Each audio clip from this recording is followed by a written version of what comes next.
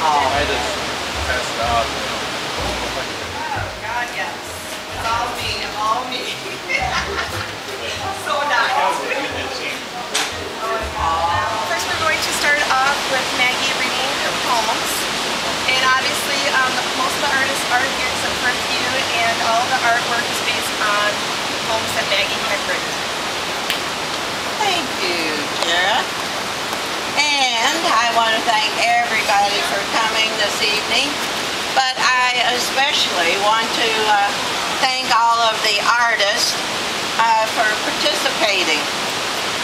One art form converted into another art form.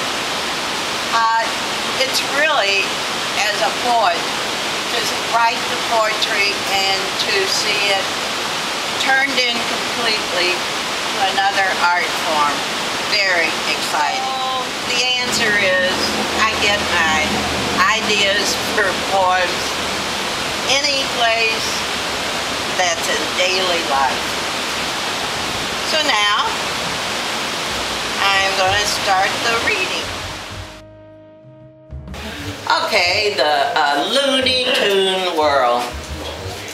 Sometimes feel like I'm living in a Looney Tune festival being held in a circus arena.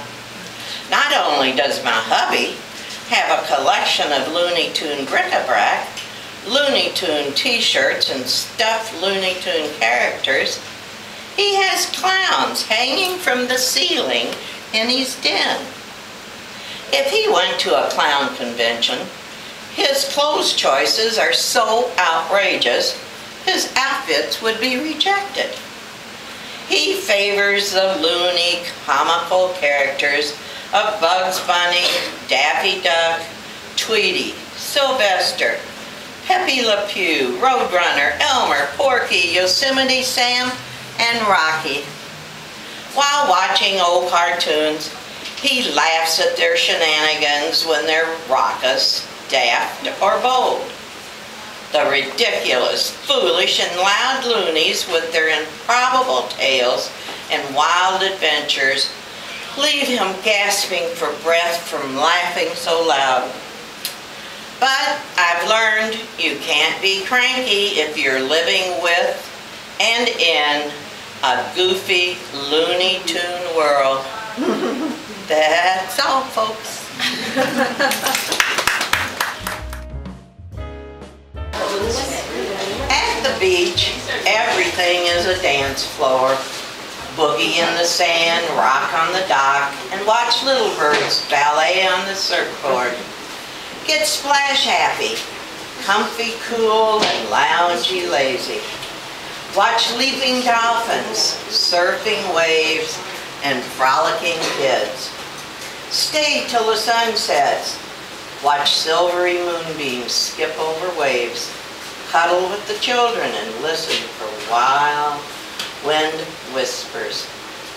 After a lively and fun-filled day at the ocean, accept the invitation to rest and rejuvenate.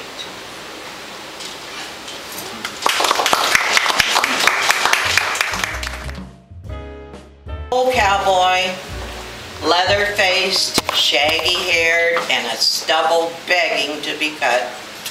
He survived a spirited youth and breezed through his prime. People assumed he was a hard-boiled, weary old-timer. His guttural laugh might sound harsh, but he wasn't. Lonely as he was, he liked to laugh. After many years of being on the trail, with only cattle to laugh with, his vocal cords were as grizzled as his beard.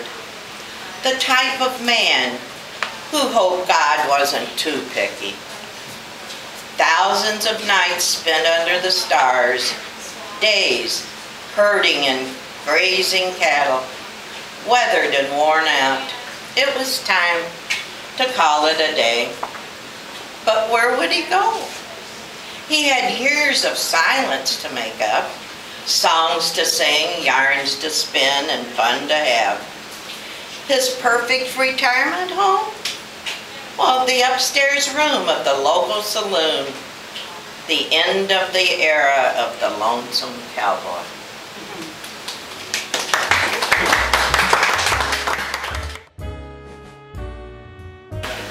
A portrait of memories. A perfect evening, dancing in the dark to the big band sound. The 27th floor in a downtown hotel. Lightning zigzagging through the sky, putting on a dazzling show. Applause provided by thunder clapping. Hearing lyrical romantic poetry in those beautiful songs transports me to a distant, far-off place. Suddenly, the sky clears. Stars are bursting like fireworks. I'm swaying back and forth. Darkness and light shows, different and beautiful. Exhilaration for the spirit, comfort for the soul. A portrait of memories.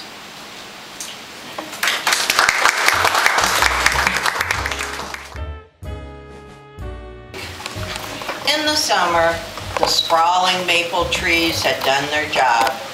They shaded the cottage. The leaves were tired now. They just wanted to rest and linger. The sun-warmed trees were dripping fall colors. The golden sunlight had made the leaves look bronze. Almost the peak of foliage week. Crisp morning air, a fall wind blowing in off the lake, the dock sturdy but weathered. Tied to its end, a canoe bobbing in the water. Burning logs in the old fireplace made the cottage warm and cozy. We watched as leaves were rustling around. Others were scooting across the yard. Chipmunks and squirrels scampered along the branches. They were not used to being disturbed at this time of year, for they were getting their food for the winter.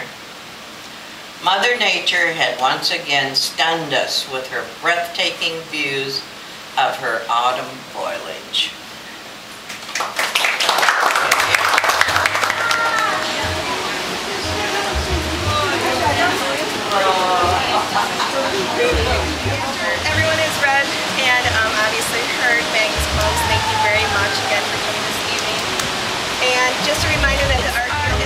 Award members right here. Please give a round of applause. And this is one of my favorite shows that we do each year because I love the fact that we incorporate just not the visual arts, also the written arts with that Maggie's artwork. Plus, it's a great way to bring all of us together in something that correlates with each other, coordinates with it, where it's not just us doing our own single artwork. So again, thank you this evening, and please bring back your friends and family to the gallery to see